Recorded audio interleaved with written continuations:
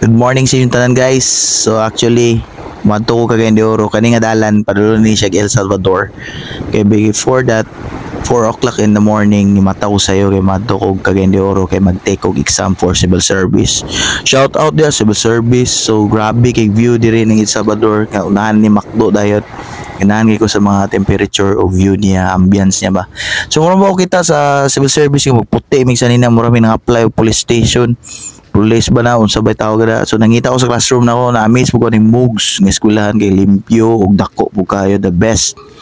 Mo po ni usa ka number one nga public sk- eskwelahan diri sa Cagayan de the best po kayo. So nangita ko sa classroom shout out mugs salamat kayo sa pag-take exam diri. Nangita ko sa classroom, so na ako dira number 6 ba ko, number 5. So na-amaze yung ning mugs kay ni mga statue, o dako kay siya mga lugar, basketball court, kay doon ni number 1 nga eskwelahan diri sa Cagayan de Oro. Ug daghan pa mga bright daw diri mo daw lang ingon so gusto mo eskwela diri na mo sa Mugs. Salamat po guys. Shout out Mugs. Thank you so much kay dira sa pag-take exam pati na civil service.